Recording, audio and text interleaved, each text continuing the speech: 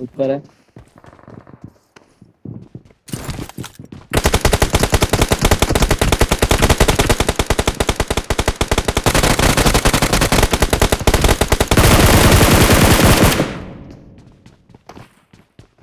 मैंने लगता है किसी का किल चुरा है